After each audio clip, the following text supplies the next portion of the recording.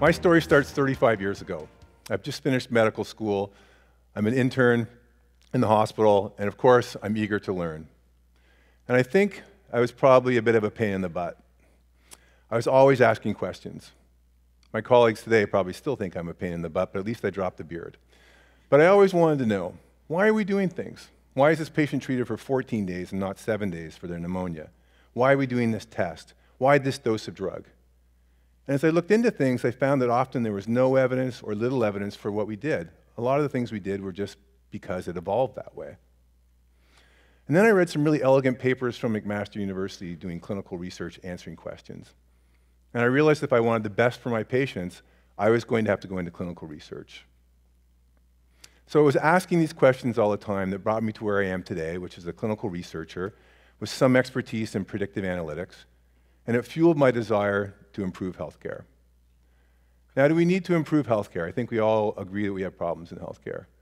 Who hasn't been to the emergency department and waited six or eight hours to be seen? Who hasn't waited for weeks to have a CT scan or an MR? Who hasn't waited to see a specialist, like myself? And who hasn't heard about problems with access to drugs? My talk tonight is about how changes to the healthcare system that leverage technology and engage physicians and patients can improve healthcare and our health in general. I'm talking about the use of predictive analytics.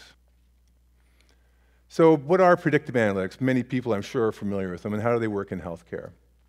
So, basically, what we do is we take historical and some current patient information, we apply a variety of statistical techniques, and we come up with a scoring system which gives us information valuable for managing patients. So, what is the probability of disease? What is the probability you need that test or respond to that treatment? Or do you really need that blood test? Or what is the right blood test that you should do? It can be done through predictive analytics. I'm Dr. Phil Wells. I'm a hematologist, which means I treat blood diseases and diagnose blood diseases. I do clinical research. I've published lots of papers, done lots of trials on patients.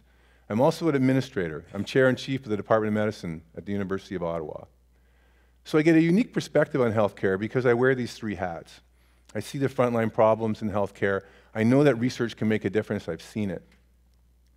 I understand the budgetary and operational issues that affect healthcare. And I know that predictive analytics can make a difference. We have the data and we have the technology to implement broadly predictive analytics. But we need patients and physicians to understand this and go on this journey with us. But imagine using predictive analytics to improve quality and predict errors. It's not something that we like to talk about very much, but 1 in 18 patients will suffer a medical error, and thousands of people die annually from medical errors. These might be prescription errors, communication errors, patient errors, maybe falls. There's lots of reasons. Sometimes it's diagnostic test errors. Let me just tell you a little story about diagnostic tests. So, I'll talk a little bit later about blood clots, but for now, people who get blood clots, a small percentage of them have cancer. So around the world, physicians started doing tests, CT scans from basically here to here, with contrast, which isn't great for your kidneys, with lots of radiation, which isn't so awesome either, looking for cancers. So we decided to do a study. And in this study, half the patients got the scan and half the patients didn't. You flip a coin, it's random which way you go. One of the first patients I entered in the trial was a guy called Joe. He's 59 years old, came in with his blood clot, he'd lost some weight. He got randomized to the side where he gets imaging done and there was a spot on his pancreas that looked like cancer. If you have cancer in your pancreas, you usually die within a year. We had to tell Joe all about this. We had to investigate it. It took six weeks to get the biopsy because it's not an easy spot to get. And then at the end, we got the biopsy, and he did not have cancer. But he didn't thank me because he'd gone through anguish, mental anguish, worried that he had cancer. He hadn't appreciated that tests do cause harm. Even though we explained that to him as part of the study, no one really appreciates it until it happens to him. And by the way, when we finished the study, we showed you don't need to do this test. It didn't make a difference in the study. But perhaps, and we're looking at this with predictive analytics, we can choose certain people that need it. But diagnostic testing is something that physicians think every patient wants. And patient thinks, patients think they need diagnostic tests in order to get the best care. It's just not always true. So imagine if you could use predictive analytics to cut costs. Healthcare is crazy expensive right now. And as we say in hematology, we're bleeding cash. It costs $6,600 for every person in Canada per year for healthcare. That's 12% of our GDP. and it's even worse in the US. And diagnostic tests are very expensive, and they're part of this. It's estimated in the US that 20 to 50% of new high tech diagnostic tests make no difference to patients. And remarkably, that 5% of their GDP is spent on tests or procedures that make no difference for the patient. Predictive analytics could fix that. What about primary prevention? We're terrible at primary prevention, right? We usually all adopt the approach, well, wait till my health, I don't have my health, and then I'm going to go to the doctor. And even then, most people don't go. But really, it's not working, is it? We have obesity epidemics, we have people with physical inactivity, we have diabetes on the rise, chronic diseases on the rise. We can do better. So we need to incorporate and change healthcare, incorporate predictive analytics and change it. It's, it's worked in other professions, right? So let's talk about the automobile industry or auto mechanics. So years ago, you bring your car in, maybe something's not working, you change a part, you see if it works. If it works, great. But now what do they do for cars? They plug a computer in your car and it tells you, voila, where the problems are. So we can't plug computers into people, not yet. We're not Borg, but we may be. But we can take a computer and we can peel through people. So we can take their history, their physical, their lab work, their imaging, their genetics, tissue samples, put that all together into predictive analytics. And that's been done. There are many predictive analytics that work. If we can manage this data, we can manage healthcare. And a particular interest for me is diagnostic tests, as I think you can tell. So I faced a diagnostic test dilemma years ago. I'll tell you a little bit about that story. So mostly what I do now is what we call venous thromboembolism. I go back, say, it's about, I guess, 28 years ago. I finished doing my hematology and I'm learning this special area of medicine called venous thrombosis. And I'm doing a master's in epidemiology, which is a study of basically doing clinical research. Now, right now, that's pretty much all I see is patients with blood clots. So generally, if you come in with a blood clot in your leg, you have swelling, you have pain. If I diagnose it and I tell you about it, you think your clot, you imagine the clot is the size of your thumbnail, because that's what people visualize as a clot. But in actual fact, the clot, as you see the blue on that picture behind me, that's the vein in the leg in your leg. So clots are actually like, like this long. Or in my case, this long. Obviously, that's not a good thing. And you can see from this picture that they can travel up to your lungs. If it's large enough, it blocks the circulation and you die. It's estimated 300,000 people die per year from this disease. And 2 to 5% of people will get this disease over the course of their life. So it's an important problem. Well, back when I'm training, they tell me you can't diagnose blood clots by examining the patient and talking to them and getting a history from them, as we call it as physicians. I didn't really understand why that was true. I was seeing patients where I was sure they had blood clots based on signs and symptoms, and others where I was sure they didn't. So I set out to develop a predictive analytic, a tool that would tell us whether we need diagnostic tests.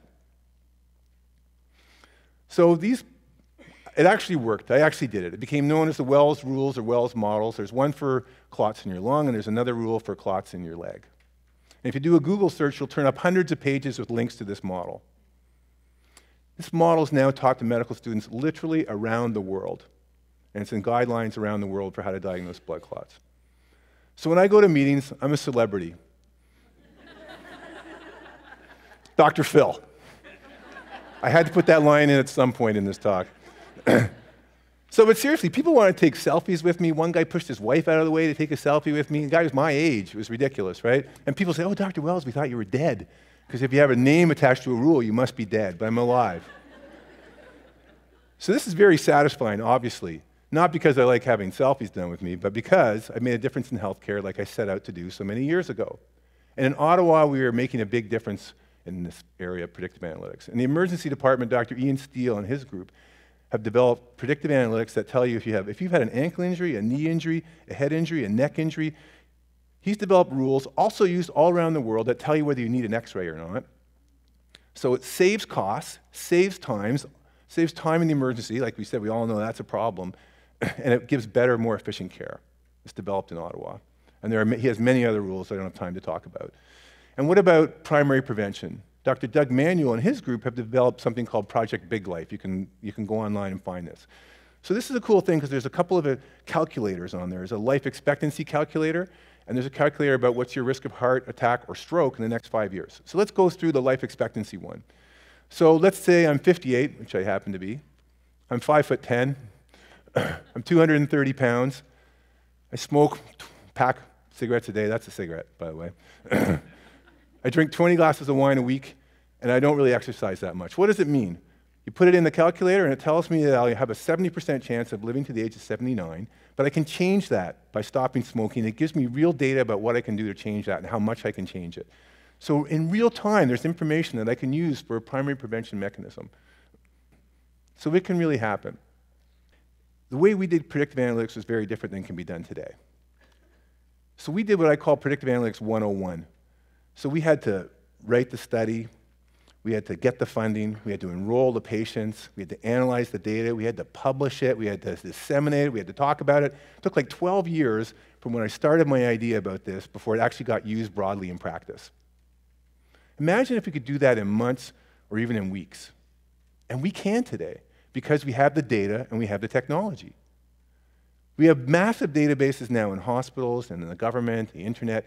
This wheel this pie shows you all the many sources of data that we have that we could be using, some of which we wouldn't even expect would be useful. So, for example, self monitoring devices, like when you're at home with a self monitoring device like your CPAP, or mobile apps, or Fitbits, or social media use, or where you do your exercising.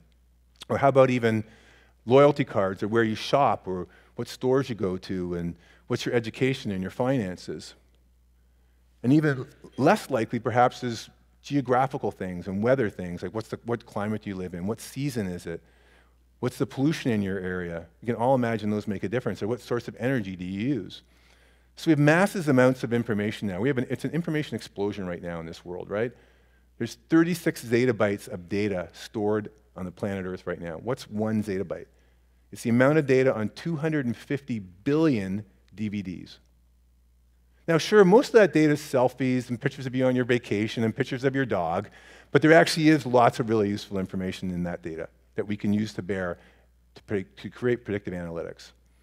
And it's kind of scary that this sorts of information might be used, but we're not talking about using this information to sell you stuff or to advertise.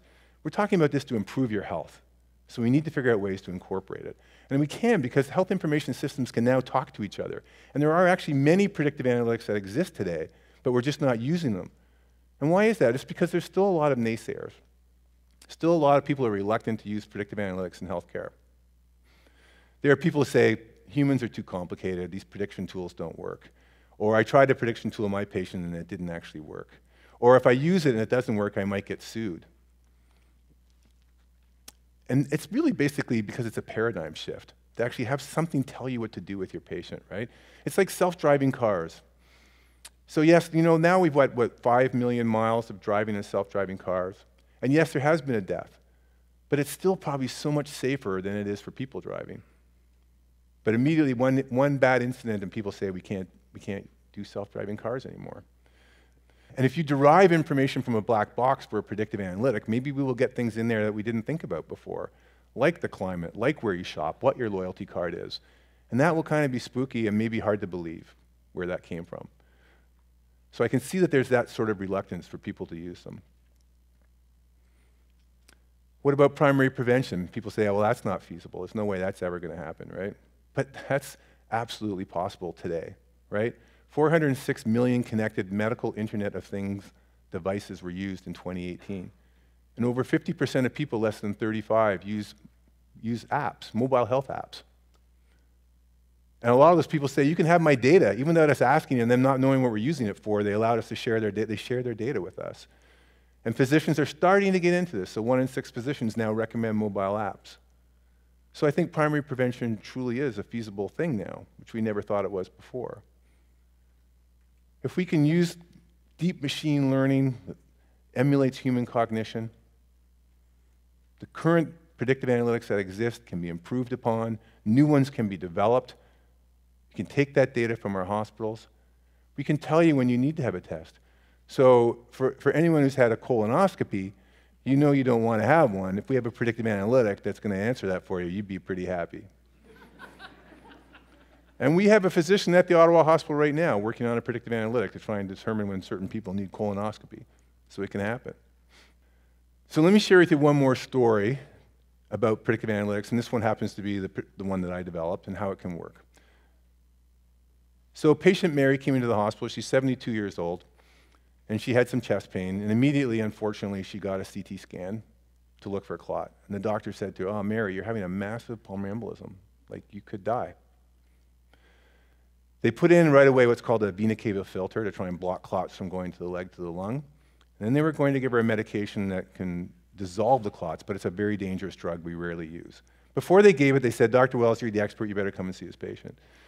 So I went to see the patient and I applied my prediction rule, and I realized right away there's no possible way that Mary has a pulmonary embolism, yet alone a massive pulmonary embolism.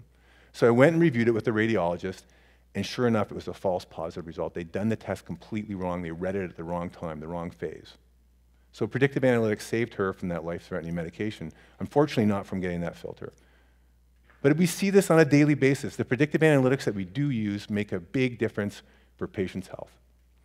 So I hope you can imagine that with using your genetics, which we now can obtain cheaply through rapid DNA sequencing, using tissue samples, your clinical information, and using artificial intelligence and machine learning, we can create predictive analytics that are helpful, that can be used to save cost, increase quality of care, increase access to care, used for primary prevention. We need to create these predictive analytics, however, that physicians trust and you as patients trust as well. So we all need to work together in this process.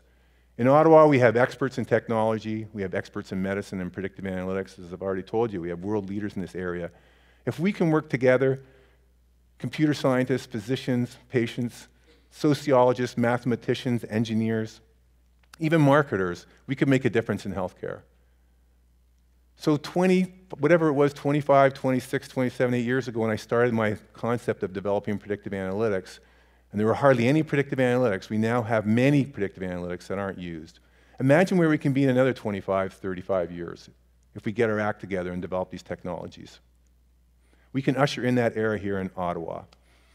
I say that if we manage data, we can manage healthcare too. Thank you for listening.